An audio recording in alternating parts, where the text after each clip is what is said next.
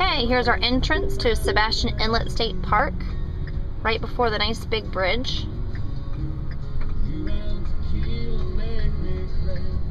Here we go, I'm pulling in.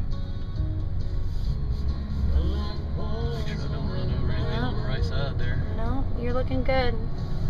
Take out this tree.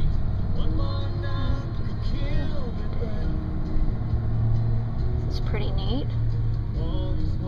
Looks like the state park is under the bridge. it's pretty interesting. Yeah. Well, that's this state park's a little bit more expensive than the other ones we've been to. This is eight dollars admission. Wow, really? Yeah, for a carload, eight dollars. Most of the ones we've been to have all been around four or five dollars for a carload. But I assume that because you're coming down here, there's a boat ramp. So if you're a fisherman, this is your ideal spot. Is ahead.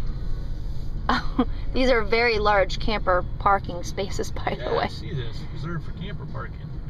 Check in. This is a great spot though for if you want to go fishing or go by the uh, the beach, go swimming, kayaking out there. Really nice.